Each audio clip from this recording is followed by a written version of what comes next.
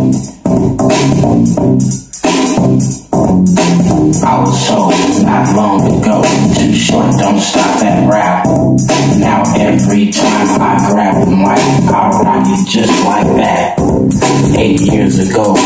started my rap, I used to sell tapes everywhere. It was me and my homeboy Freddie B, all kicking it like big players. Everybody loved my rap like hundred dollar bills. I rock house parties on 98, even rock in the 6-9 field. Might find me on the mic at Hot Left House or at the East Bay Spot. All 85 boys with their hands in the air screaming Too Short, stop.